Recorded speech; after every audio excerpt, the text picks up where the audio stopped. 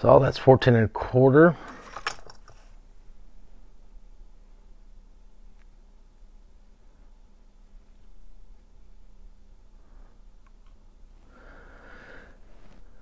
So the cable weighs a gram. Maybe we can shave off half a gram with a shorter cable.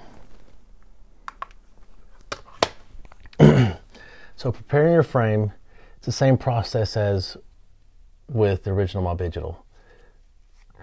We're going to cut these little four mounting spots down as flush as we can.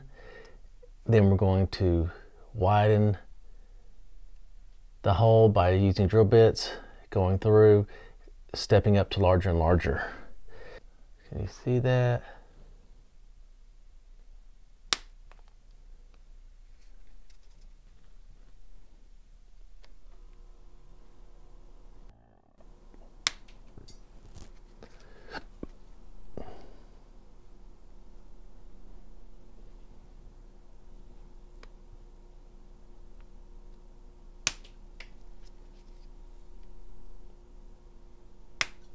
Next step is to take your finger drill, starting with a small drill bit, insert into the hole.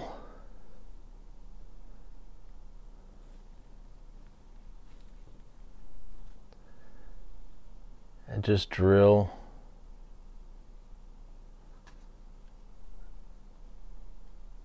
all the way through.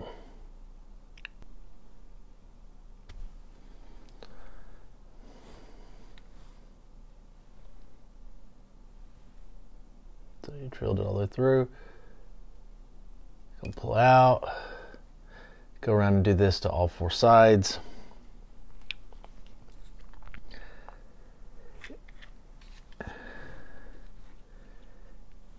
And you're going to continue through each one of these drills or every two drills drill bits if you want going through the same four holes until I like this third one from the end this final drill bit.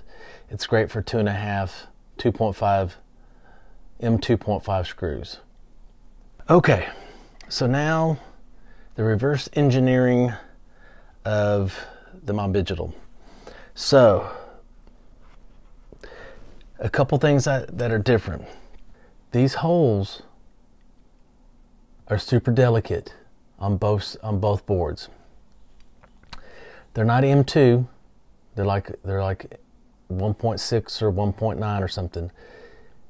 Problem is is when you start to, to drill out these holes, there's a very good chance these are just going to snap off.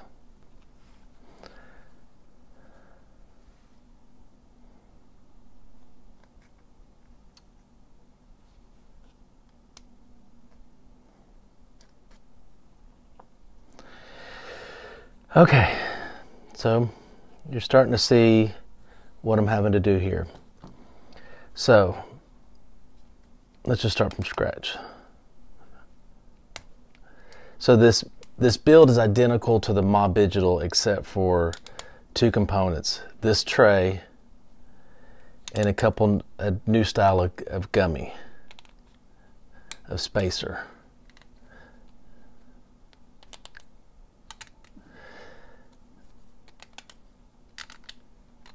Pull these up. Okay.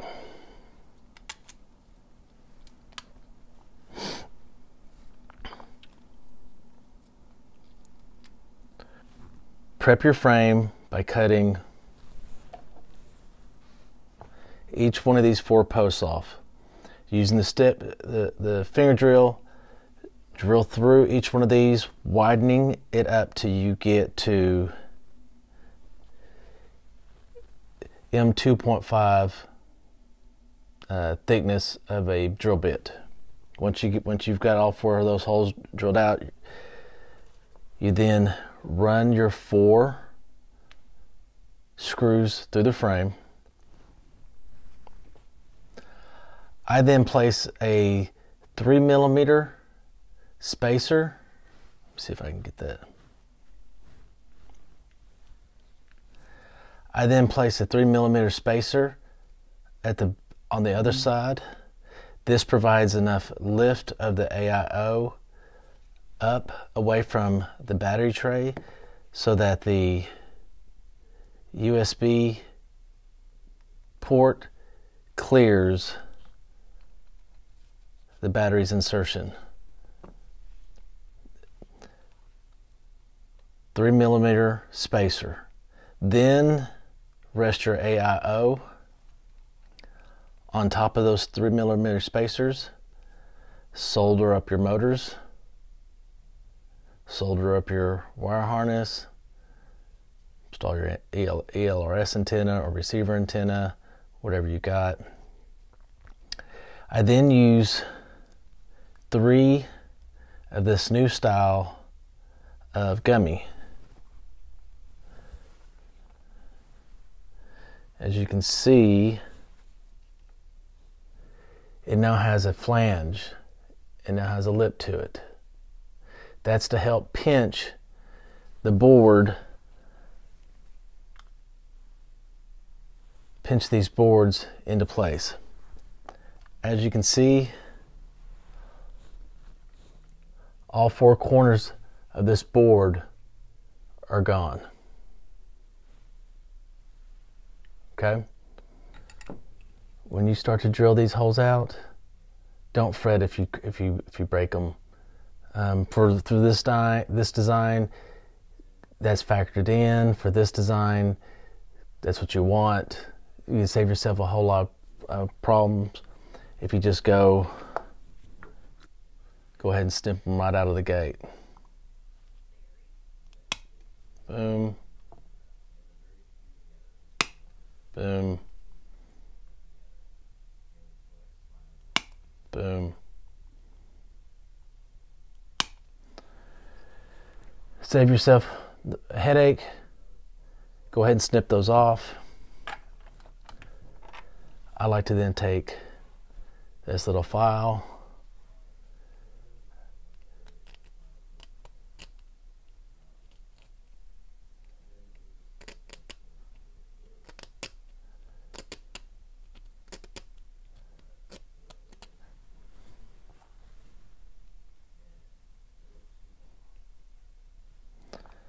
widen it up a little bit.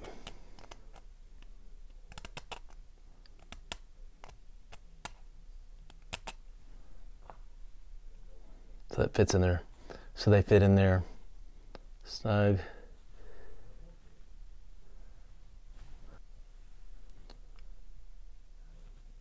You can see there's a little gap right there. I then come in.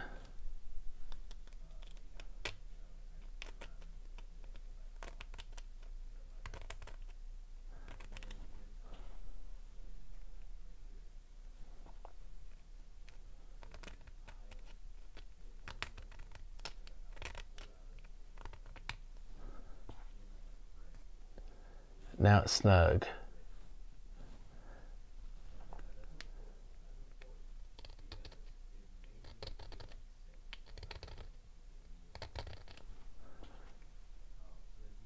Now it's snug. Tray apparatus, which has certain notches cut out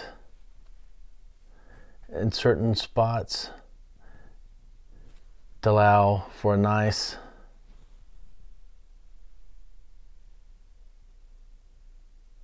a nice tight stack. You can see here on this flange and this flange I have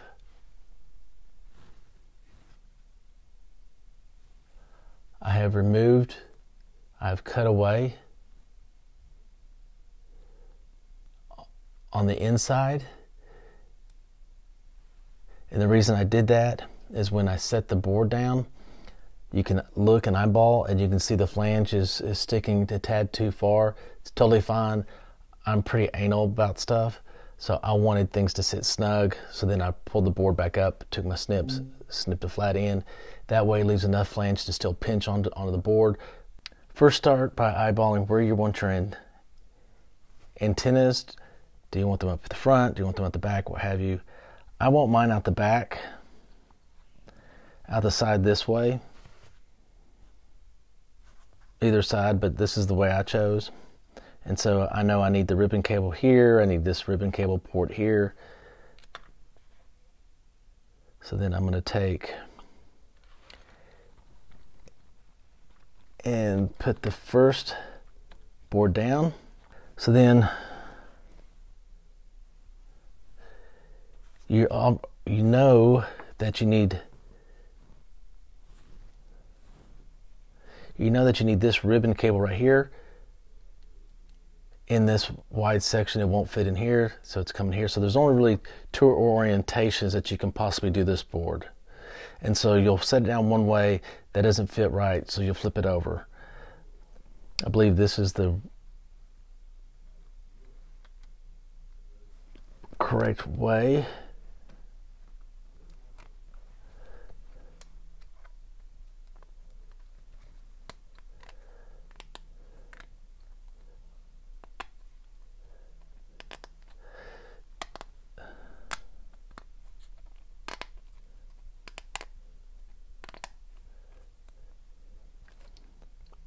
All right. So this board is now is now sandwiching the bottom board against these gummies. This is coming down. This tray is is holding the antenna or the uh, ribbon cable in. No fear of the ribbon cable popping out come over here with your other board just like on the OG Mobigital get in there plug in your cable push it down. Now this tray is holding the other cable in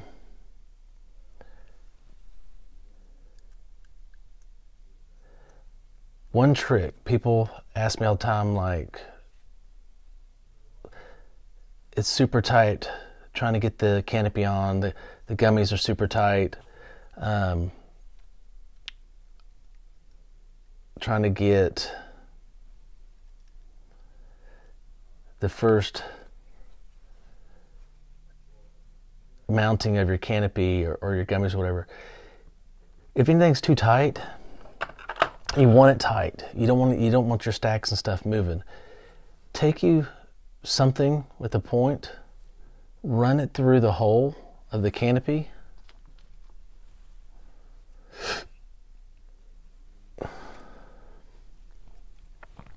Stretch it out. Just it'll, it'll, it'll stretch back, but stretch it out a little bit. After you've stretched it out for, for a second, relieving the pressure, peel it off then. And you can see this hole. Watch this.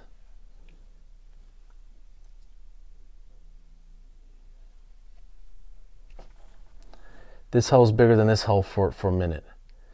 This hole's already shrinking back. Stretch it out a little bit. Then you can go and you can mount it with one finger.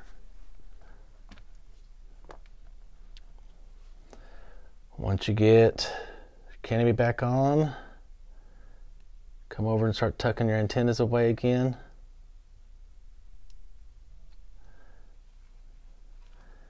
And then push everything down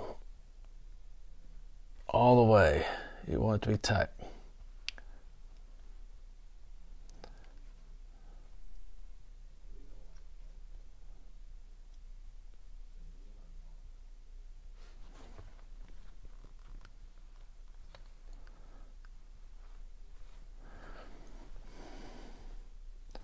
There you go. Now the new canopy I've designed is perfect for the naked camera.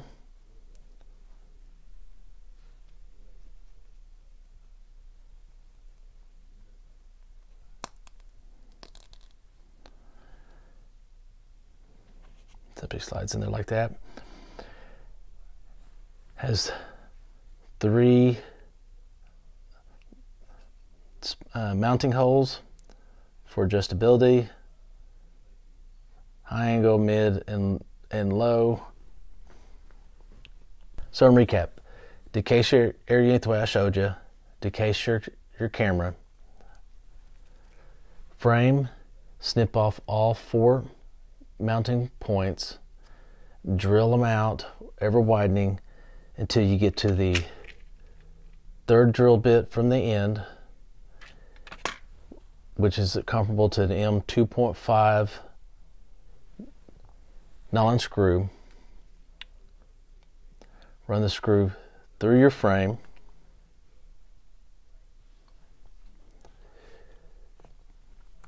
Then an M3 spacer, your AIO, solder your motors, your wires, another three millimeter spacer in the in the nose, four millimeter flange spacers in the rear, your canopy, then your first board, the tray, the second board, and then your canopy. And those are the layers of the sandwich. But about as easy as you can get. Any question you got, DM me, email me, what have you. I'm there to answer them.